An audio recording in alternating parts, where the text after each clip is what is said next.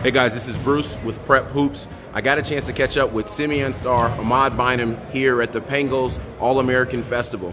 Ahmad, you are the nephew of Will Bynum. Can you just talk a little bit about how your overall family has helped you in the development of your game? Uh, they helped me a lot. Basically, my whole life, Will, he always been there for me to motivate me and just work, keep me in the gym every day and just working out.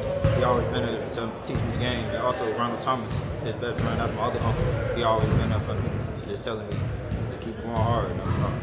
For, for, people that don't know you, can you talk a little bit about what type of player Ahmad Bynum is? Uh, I'm a scorer, I'm also a two guard. I can also play the point. I can pass, score, rebound. You know, I play defense, so I'm also like a combo guard.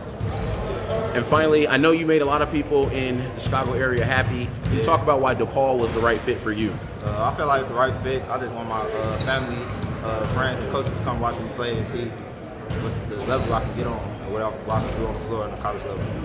Well, perfect, man. Really appreciate your time. Really enjoy watching you play this week. Best of luck for you in the future. Thanks, bro. Love.